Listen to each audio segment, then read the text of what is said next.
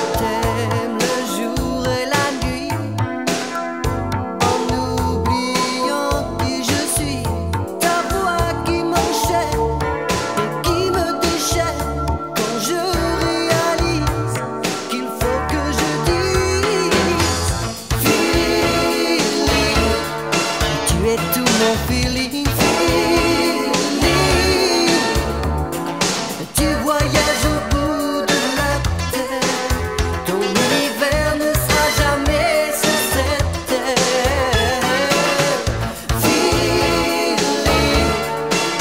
the Dudley feeling.